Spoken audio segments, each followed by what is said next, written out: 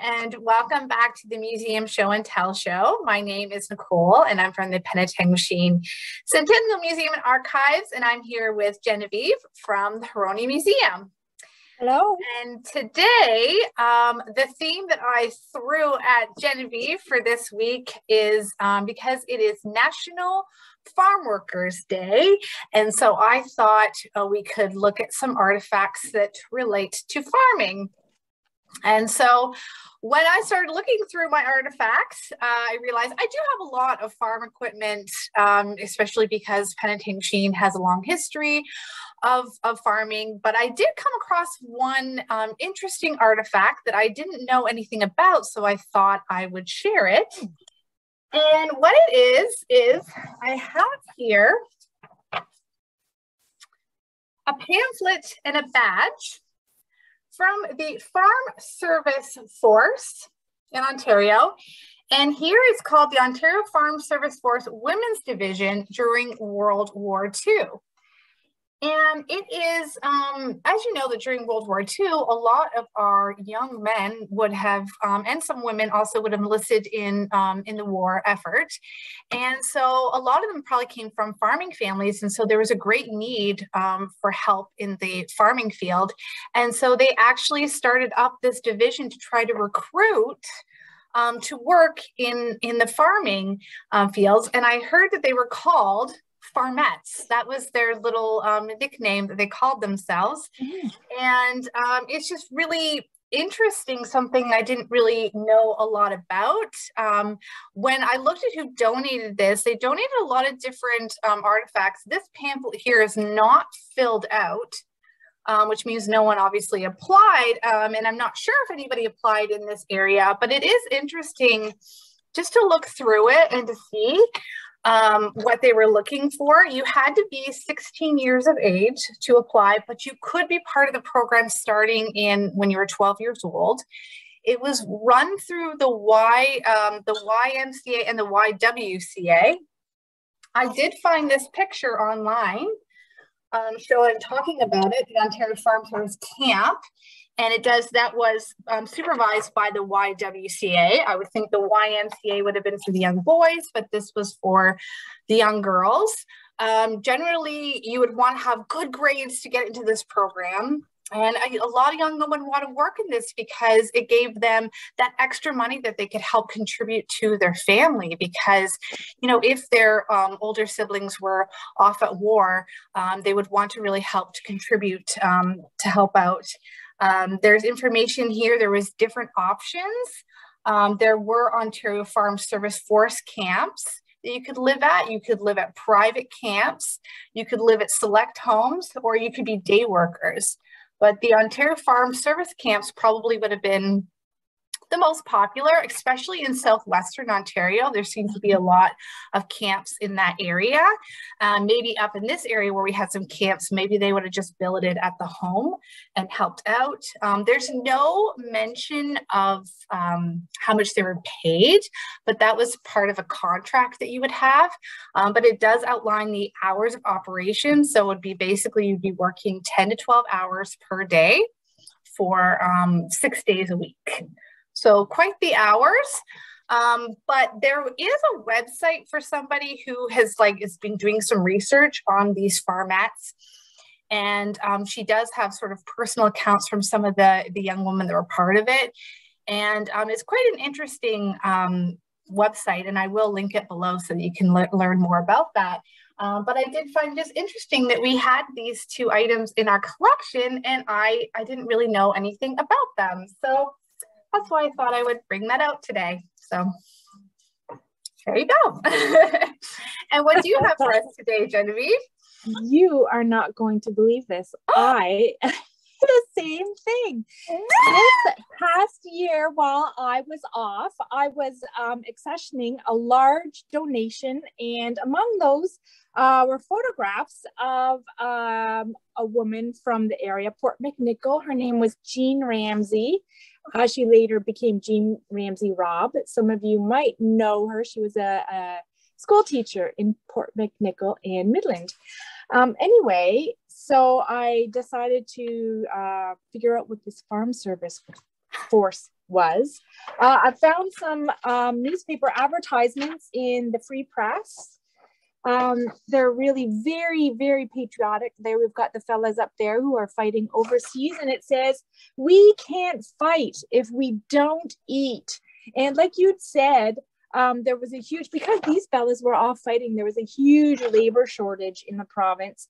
And I know, at least I'd read in 1941 that Canada had promised to send to Britain 112 million pounds of cheese alone.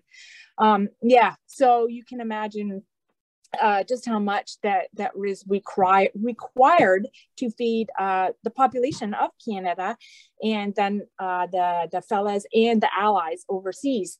So um, that's why the government had uh, recruiters uh, make speeches at schools asking young men and women, like you'd said, uh, who are 16 years or older to join. And at least by 1943, they were also um, asking the lady school teachers to join in. And that's why Jean Ramsey uh, had uh, enlisted. I know uh, as an incentive for the students that they were um, asked to sign up for, I think, 13 week contracts. At least that was seemed to be what I'd read about. So uh, you can figure that you've got a summer that's maybe eight or 10 weeks long. So that gives you an extra three to five weeks off of school and they allowed you to do that you'd get a special certificate from the government that let you off for school which was honestly would have been incentive for me. But here we are is a photograph of Jean. That's Jean on the end in her farming gear and two of her friends at their camp. There's the YWCA uh, sign up there and they're at a camp um, in Grimsby. It says teacher camp assistants. So I think that all of the women that Jean had served with were other teachers. Mm. Uh, none of them almost all of the photographs that we've got, uh, they deal with farmerettes. Um, uh, they all seem to be dressed in their civilian clothing. So I think it was probably on their days off or in the afternoons when they go to tea in Grimsby.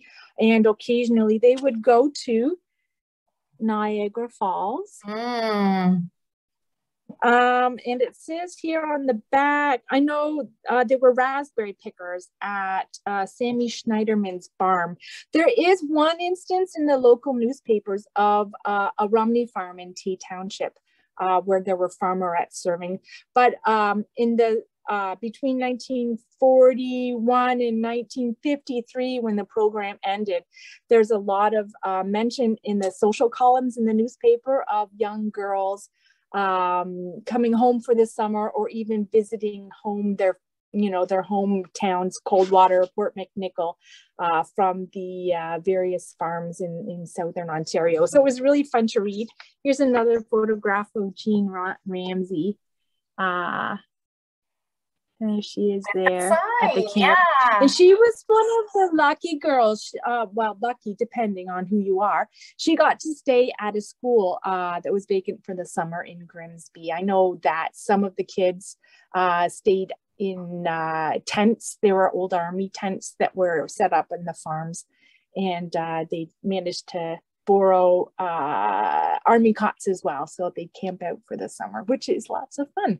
So, and I did find uh, you were talking about pay, and I did find that in this instance, anyway, um, the girls, the farmerettes, were earning 25 cents an hour.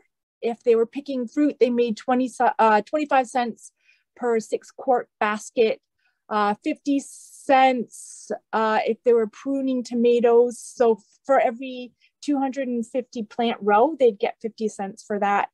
And then they also had to pay room and board, which was 450 per week. So uh, they did a lot of a lot of variety of work. It says uh, weeding large plots of plots of cropland, picking fields of corn, stooking wheat. Uh, they did their own laundry, and uh, yeah, it just looks like they had an enjoyable time. These teachers. Uh, I don't know, it would have been kind of uncomfortable, I imagine, for students if the teachers were working on the same farm as the kids, but you never know. So, yeah, here we are, the farmerettes. And I do have one more advertisement from the paper. uh, is geared toward the students. So there we are, the students. Plan now to spend your vacation on a farm. So there were lots of local girls that did that. Wow, what a bit odd. I know, isn't that crazy? Both coming up with the same topic when we're talking about farming. but you know, I mean, it's it's it's interesting that we both came up, but it's also it's that one thing when I was looking through all the stuff that we had, like oh, I could show a cedar or you know these other things, and when I came across it, like well, that sounds interesting, and um, yeah. yeah, and I also think it would have been quite the um, the adventure, you know, if you were up in this area to be able to go to Southwestern, go and see Niagara Falls on the weekend, and live in a different area and um, and feel like you really definitely were contributing to the the war effort and um, absolutely and it's just something that I had not, you know, obviously, you know, duh, of course there probably were, you know, thinking back, like, of course people had to work on the farm. They probably did, you know, because we know that women did take on a lot of, uh, join the workforce in many different facets during World War II, that time period, but I never thought about it. And you're right, the time period, it even went up to 1950 three, which is which is interesting. So that's great. That's so interesting that we same topic and that we know for sure that people in this area did did contribute.